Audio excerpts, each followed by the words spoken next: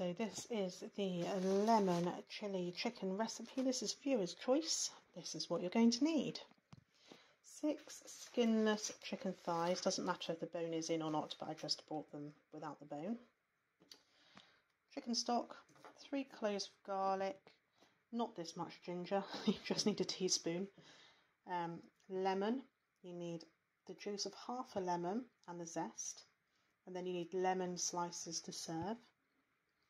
So how many lemons depends on how many lemon slices you want to use to serve.